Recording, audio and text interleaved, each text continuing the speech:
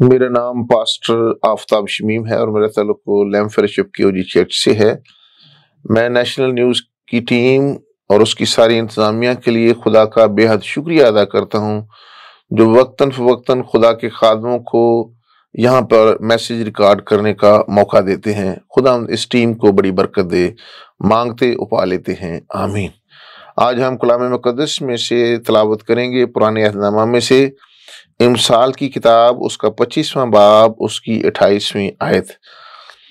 जो अपने नफ्स पर जाबत नहीं, वो बेफसील और मिसमार शुदा शहर की मानद है। कलाम मुकदस में से ये आयत हम दोबारा पढ़ेंगे।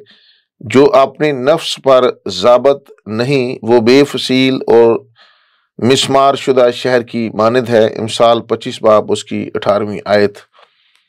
कलाम मुकदस की जो आयत आपके सामने पढ़ी गई है, उसके लिए जो अबरानी लफ्स इस्तेमाल हुआ है, जो अपने नफ्स पर, नफ्स के लिए जो अबरानी लफ्ज़ इस्तेमाल हुआ है, उसका लारूहा इसका मतलब है स्पिरिट, यानी जो अपनी स्पिरिट पर काबू नहीं रखता और अपने एंगर पर काबू नहीं रखता और अपनी लाइफ के ऊपर उसको कोई कंट्रोल नहीं है, वो उस शहर की मानद है जो टूटा हुआ शहर है और जिसकी कोई दीवार नहीं। आपको पता है कि पुराने दौर में जब शहर बनाते थे तो उसके चारों तरफ़ गोल एक दीवार हुआ करती थी और उसके दरवाजे होते थे। इसी तरह यरूशलेम के चुगिर्द भी दीवार थी और आपको पता है कि नहमिया के दौर में जब हैकल की यरूशलेम की दीवार टूट गई थी और उसके फाटक आग से जले हुए थे तो यरमिया ने खुदावन से नहमिया ने खुदावन से दुआ की कि वो जो फाटक हैं वो बने और उसकी दीवार जो है वो तामीर हो। इसलिए फाटकों का तामीर होना बेहद ज़रूरी है ताकि दुश्मन हम पर अटैक ना कर सके। इसलिए अगर हमारी ज़िंदगी पे हमें कंट्रोल नहीं है, हमारी रूह पे हमें कंट्रोल नहीं है तो क्या होगा? उसका असर ये होगा कि हम गुस्से में आ जाएँगे, हमारा एंगर बढ़ेगा और हम बहुत सारे उल्टे सीधे काम करेंगे। इस दुनिया में बहुत सारे लोग ऐसे हैं जो नए साल के दौर में जब खुशियाँ मनाते हैं तो वो बेकाबू हो जाते हैं, उनका जिस्म काबू नहीं तो शराब नोशी करते हैं, नशाबाजी करते हैं, सिगरेट नोशी करते हैं और उनका अपने जिस्म पे कोई कंट्रोल नहीं होती है। गालियाँ देते हैं और बुरी बातें कहते हैं तो इसका मतलब है उनका अपने जिस्म पर कंट्रोल नहीं है। तो अगर जिस्म पर कंट्रोल नहीं है तो वो कैसे हैं, ऐसे हैं जैसे कि एक उजड़ा शहर है। और इसलिए कलाम मुकदस में लिखा है, जो अपने नफस पर जाबत नहीं, वो बेफसील और मिसमार शुदा शहर की मानद है। यानी उसको अपने गुस्से पर कंट्रोल नहीं है। और कलाम मुकदस में इमसाल सोलह बाब उसकी बत्तीस आयत में लिखा है, जो जो कैर करने में धीमा है, पहलवान से बेहतर है, और वो जो अपनी रूह पर जाबत है, उससे जो शहर को ले लेता है। यानी जो कैर करने में धीमा है? हमारा खुदावंद भी कैर करने में धीमा और शफकत और वफा में गनी है। हम जितनी मर्जियाँ गलती करते हैं, लेकिन वो हमें माफ़ करने की कुदरत रखता है। पहलवान से बेहतर और वो जो अपनी रूह पर जाबत है, उससे जो शहर को ले लेता है। इसी तरह इमसाल बाईस बाब, उसकी चौबीस और पच्चीस में लिखा है, गुस्सा वर आदमी से दोस्त, दोस्ती ना कर और गजबनाक शख्स के साथ ना जा, मुबादा तू उसकी रवशें सीखे, अपनी जान को फंदे में फंसाए। बहुत सारे लोग ऐसे हैं जो उन लोगों से दोस्ती करते हैं, जो गुस्सा करते हैं और कहर से भर जाते हैं। कलाम मुकदस में इस से मना किया गया और गजबनाक शख्स के साथ ना जा। मुबादा तू उसकी रविशें सीखे और अपनी जान को फंदे में फंसाए। बहुत सारे लोग इस दुनिया में बहुत सा गुस्सा करते हैं कलाम मुकदस में। पलूसूब भी हमें गुस्सा से मना करता है और कहता है कि हमें इससे बचने की ज़रूरत है। कलाम मुकदस में अगर हम इफ्स के नाम पलूसूल का ख़त चौथा बाप उसकी इकतीसवें में लिखा है, हर तरह की तलख, मजाजी और कहर और गुस्सा और शोरगोल और बदगोई हर किस्म की बदख्वाहिश में तुमसे दूर की जाए। यानी सबसे पहले, गुस्से से पहले इंसान जो है, उसका मिजाज जो है, वो तलख हो जाता है। वो तलखी से बातें करता है। और बहुत सारे इस मुआशरा में बहुत सारे ऐसे लोग हैं, जो तलख मजाजी से बात करते हैं। यानी उनका जो सेल्फ है, कंट्रोल में नहीं है और खुदा के खादम, डॉक्टर बिलीग्राम, इसको सेल्फ कंट्रोल को कहते हैं, फ्लैश कंट्रोल, कि हमारा जिसम हमारे काबू में नहीं है, हमारी ज़ुबान हमारे काबू में नहीं है हमारे हाथ हमारे काबू में नहीं है, हमारी आँखें हमारे काबू में नहीं है और जब ये हमारे काबू में नहीं है तो फिर इस इनसे गलत काम हो जाते हैं। कलाम मुकदस में लिखा है, हर तरह की इसमें चार बाप, उसकी कतिश में हर तरह की तलख मजाजी यानी मजाज में तलखी आ जाती है और फिर हम कहर से बच जाते हैं और फिर तीसरी डिग्री गुस्सा और फिर शोरोगुल, और यानी ये इससे अगली डिग्री है, हम शोरोगुल करते हैं। बहुत बहुत सारे लोग जो है, जब घर में जाते हैं तो वो क्या करते हैं, इतना शोर करते हैं, बीवियों को मारते हैं, और अपने बच्चों को मारते हैं, इतना गुस्से से भर जाते हैं, यानी हमारी ज़िंदगी में कंट्रोल नहीं है। और शोरोगुल और बदगोही, यानी हम हम बुरी बातें कहना शुरू करते हैं बद खाही और बुरा सोचना शुरू कर देते हैं। लेकिन कलाम मुकदस में लिखा है समेत तुमसे दूर की जाए। यानी तलख मजाजी भी हमारे बदन से जाती रहे कहर भी हमारे बदन से जाता रहे गुस्सा भी हमारे बदन से जाता रहे शोर गो, शोर गोल जाता रहे बद कोई यानी किसी के खिलाफ हमें कह बुरा नहीं कहना चाहिए। बहुत सारे लोग जो हैं ऐप जो दूसरों की ऐब निकालना शुरू कर देते हैं। लेकिन ये भी कलाम मुकदस में हमें मना किया गया है। और बदखाही बुरों दूसरों के खिलाफ बुरा सोचना ये भी कलाम मुकदस में हमें मना किया गया है। और बल्कि क्या और एक दूसरे पर मेहरबान और नरम दिल और जिस तरह खुदा ने मसीह में तुम्हारे कसूर माफ़ किए हैं तुम भी एक दूसरे के कसूर माफ़ करो। हम रोज़ाना दुआरबानी तो पढ़ते हैं लेकिन कई दफ़ा हम उसको समझ के साथ नहीं पढ़ते क्योंकि कलाम मुकदस में लिखा है तुम एक दूसरे के कसूर माफ़ करो। लेकिन हम कई दफ़ा सारा साल ही आ, किसी को माफ़ ही नहीं कर करते। हम दिल से कह देते हैं हम ज़ुबान से कह देते हैं कि हमने माफ़ कर दिया लेकिन करते नहीं है। लेकिन याद रखें हमें दिल से माफ़ करना है। दिल ला अलाज और हिला बाज है। कौन इसको दरियाफ्त कर सकता है? यरमिया में लिखा है, मैं ही वो खुदा हूँ, जो दिल और दिमाग की जानता हूँ। और कलाम मुकदस में लिखा है, अपने दिल की खूब हिफाजत कर, क्योंकि ज़िंदगी का सर चश्मा यही है। तो इसलिए दुनिया का सबसे मुश्किल काम है अपने आप को कंट्रोल करना, अपनी ज़ुबान को कंट्रोल करना, अपनी आँखों को कंट्रोल करना। आज बहुत सारे लोग जो हैं, वो यूट्यूब पे देखते रहते हैं, गंदी फ़िल्में और दूसरी चीज़ें देख देखते रहते हैं, इसका मतलब है उनकी आँखें कंट्रोल में नहीं है कई लोग जो हैं वो अपने हाथों से बुरे काम करते हैं, इसका मतलब उनके हाथ जो है उन पर उनका कोई कंट्रोल नहीं है। बहुत सारे लोग हैं, उनकी ज़ुबान ही चलती रहती है, उनकी ज़ुबान कंट्रोल नहीं है। इसलिए कलाम मुकदस में हमें लिखा है कि अपने जिसम को कंट्रोल करना है, अपने फ्लैश को कंट्रोल करना है। डॉक्टर बिलीग्राम जिस तरह मैंने कहा कि दुनिया, वो कहते हैं कि दुनिया का मुश्किल तरीन काम है अपने जिसम को कंट्रोल करना। और ये एक रूह का फल भी है कलाम मुकदस में इसको अगर हम पढ़ें तो कलाम मुकदस में गलतियों पाँच बाब उसकी बाईसवीं आयत में लिखा है, मगर रूह का फल, मोहब्बत, खुशी इतमान तहमल मेहरबानी, नेकी, ईमानदारी, हिल्म और परहेजगारी। परहेजगारी जो है, इसको इंग्लिश में सेल्फ कंट्रोल कहते हैं। यानी अपने आप को कंट्रोल करना। यानी हम अपने आप को कंट्रोल कर ही नहीं सकते जब तक कि हमारे अंदर खुदा का पाकरू ना हो पाकरू के फल ना हो। तो इसलिए आपने every day you have to control yourself with the help of the Holy Spirit आपने खुदा के पाखरू को वेलकम करना है। गुड मॉर्निंग होली स्पिरिट खुदा उनके पाखरू को कहना है कि मेरे जिसम को कंट्रोल कर। खुदा उनके पाखरू को कहना है, मेरे आँखों को कंट्रोल कर। ताकि मैं वो चीज़ें देख सकूँ जो खुदा के कलाम के मुताबिक हैं।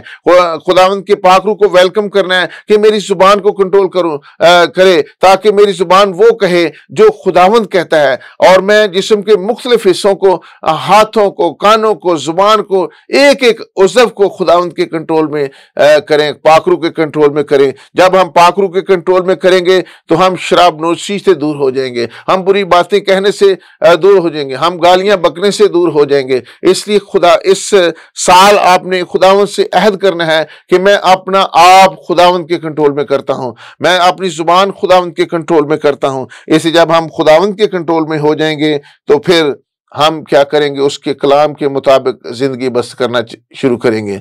सबसे पहले मैं आपको मिसाल देता हूँ कि खुदा यसु मसीह ने अपने आप को कंट्रोल किया था।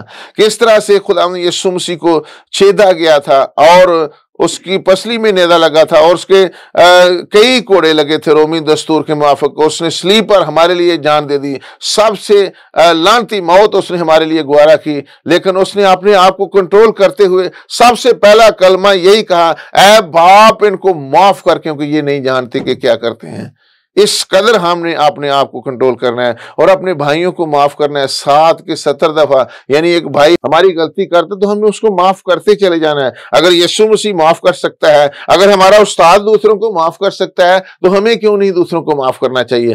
खुदा यीशु मसीह जो थे, खुदा बाप के कंट्रोल में थे, उन्होंने कहा ए बाप, इनको माफ़ कर, क्योंकि ये नहीं जानते कि क्या करते उसने हैरोदीस को माफ़ कर दिया, जिसने उसके, उसको उसके मतलब बुरा कहा, उसको पटवाया और खुदा यसुम मसीह ने उसको माफ़ कर दिया। रोमी हुकूमत को खुदा यसुम मसीह ने माफ़ कर दिया। उस वक्त जो उसको कोड़े लगाने वाले थे खुदा यसुम मसीह ने उनको माफ़ कर दिया। जिन्होंने उसके मुँह पर थूका था, उसने उनको माफ़ कर दिया। जिसने पसली में बाला लगाया था, एक एक को उसने माफ़ कर दिया। इसलिए आज हमें भी, अगर हमारे अंदर सेल्फ कंट्रोल है तो हम दूसरों को माफ़ कर सकते हैं। अगर हम पुराने यादनामा में देखें यूसुफ के अंदर खुदा ने सेल्फ कंट्रोल की स्पिरिट डाली थी। उसने अपने नफस पर जबत हासिल किया था। जब वो फोतीफार के घर में गया तो फोतीफार की बीवी उसके साथ जनाकारी करना चाहती थी, बदकारी करना चाहती थी, लेकिन वो भागा, जनाकारी से भागा। उसने अपने अपने नफस को कंट्रोल किया और जनाकारी जैसे बड़े बुरे अमल से वो बच गया। इसलिए और खुदा ने उसे और ज़्यादा सरफराज किया और मुल्क के मिस्र का वज़ीर आज़म बना दिया। लेकिन अगर हम अपने आप को कंट्रोल करें, अपनी ज़ुबान को कंट्रोल करें, कानों को कंट्रोल करें, पाँव को कंट्रोल करें, और हमारे पाँव ऐसी जगह नहीं जाने चाहिए जहाँ पर खुदा नहीं चाहता। कई दफ़ा हम उस जगह चले जाते हैं जहाँ पर जहाँ से खुदा हमें मना करता है। इसलिए हमारे कदमों, कदम भी जो है, वो खुदा के कंट्रोल में होने चाहिए। इसी तरह अगर हम देखते हैं, पलूस रसूल जो था, वो खुदा के कंट्रोल में था। वो क्या कहता है मैं यीशु की खातर हर एक चीज़ को कूड़ा समझता हूँ। वो खुदा उसने अपने आप को खुदावंद के कंट्रोल में किया और वो कहता है कि मैं आ, कौन सी चीज़ हमें खुदा की मोहब्बत से जुदा कर सकती है? ना हाल की चीज़ें ना इस्तकबाल की ना अख्तियारत ना तंगी ना फाका कशी वो कहता है फाका कशी भूख भी मनो खुदा तो दूर नहीं कर सकती। इस कदर हमने खुदा के कंट्रोल में चलना है। दैनियल जो था वो खुदा के कंट्रोल में चलने वाला शख्स था और दैनियल जो था वो बादशाह बादशाहों के सामने भी खुदा की गवाही देता था। और बादशाह ने कहा कि दानियल दानियल के खुदा की प्रस्तश की जाए। हालेलुया। इसलिए हमने खुदा के कंट्रोल में जो लोग होते हैं, वो बादशाहों के सामने भी गवाही देते हैं। जिस तरह पलूस रसूल जो है, अगर वह बादशाह के सामने गवाही देते हुए कहता है, मैं चाहता हूँ कि इन जंजीरों के अलावा हर चीज़ मसीही हो जाए। हर चीज़ यस्सु की हो जाए। और ये वो लोग होते हैं जो बादशाहों के सामने भी गवाहियाँ देते हैं, क्योंकि वो खुदा के कंट्रोल में होते हैं। और अगर हम अयूब की ज़िंदगी में देखें तो अयूब कितना सावर था, कितनी मुसीबतें हैं, बच्चे भी मार गए सारे माले, मालूम मवेशी भी चले गए, बीवी भी लान तान करती है और क्या कहता है? खुदावंद ने दिया, खुदावंद ने लिया, खुदावंद का नाम मुबारक हो। ये वो लोग हैं जो खुदा के कंट्रोल में चलते हैं। आज हमने भी अपना आप खुदा के कंट्रोल में करना है, क्योंकि खुदावंद हमारी ज़बान को कंट्रोल कर सकता है। खुदावंद चाहता है कि हम उसके कंट्रोल में रहें और कलाम मुकदस की आ, में जो रोज़ा जो है ये भी अपने आप को कंट्रोल करने की कुत हमें मुहैया करता है। मती छः बाब सोलहवीं और सतारवीं आयत में तीन चीज़ों पर बड़ा आ, बड़ा हमें आ, बताया गया तालीम दिया खुदा यसु मसीह ने आ, कि जो जब तुम रोज़ा रखो है रोज़ा रखो तो अपनी सूरत उदास नहीं बनानी, अपने सर पे खुशबूदार तेल डालना है, ताकि हमारा खुदा जो हमें पोशीदगी में देखता है, वो रोज़ादार जाने। इसी तरह ये ये भी एक डिसिप्लिन है, जब रोज़ा जो है, जब हम रखते हैं तो हमारा फ्लैश कंट्रोल हो जाता है। दुआ के वसीला से हम अपने आप को, अपनी दुआ जो है, वो उसको ज़्यादा बढ़ाएँ इन दिनों में। याद रखें, और जितनी आप दुआ ज़्यादा बढ़ाएँगे, उतना ही आप खुदा के करीब होते चले जाएँगे। और एक और चीज़ है देना देना लेने से मुबारक है। हम खुद अपने हदिया जात जो है खुदा उनकी हजूरी में पेश कर करें। कलाम मुकदस में लिखा है पूरी दाइया की जखीरा खाना मिलाओ और इससे मेरा इम्तिहान करो मैं आसमान के दरीचे खोलकर तुमको बरकत दूँगा। तो ये तीनों डिसिप्लिन हमारी ज़िंदगी में होने चाहिए। कई लोग जो हैं वो शादियों ब्याहों में इतना खर्च कर, कर देते हैं वो कंट्रोल ही नहीं होते लेकिन खुदावंद की राह में वो खर्च नहीं करते। याद रखें हम अपने आप को कंट्रोल करने की ज़रूरत है। दुआ ही नहीं करते लोग अपने आप को कंट्रोल करें और दुआ में खुदा के साथ वक्त गुजारें और कलाम मुकदस में लिखे दिया करो। ताकि तुम्हें भी दिया जाए। बहुत सारे लोग देते ही नहीं है। इसलिए हमने खुदावंद के हजूर अपने आप को पेश करना, बुज़ुर्ग मूसा जो थे, वो अपना टेम्पर लूज कर चुके। खुदा ने कहा था, एक बार ये स्टिक जी पहाड़ी पहाड़ी से मारनी है, लाठी ते पानी निकल आएगा उन्हें गुस्से च आके दो दफ़ा मार दी जिदी वजह न खुदा ने आख्या तू हूँ पुत्र मुल्क मौदा जी नहीं जा सकता कई दफ़ा हम अपना टेम्पर लूज कर जाते हैं, अपने गुस्से में आ जाते हैं।